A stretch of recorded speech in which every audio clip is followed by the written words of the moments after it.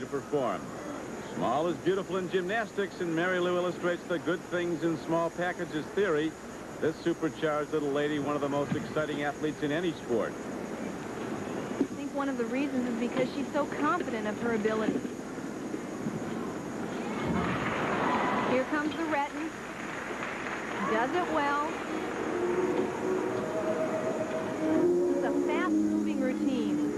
She needs only 8.90 to win the all-around, and it looks like we have our new champion,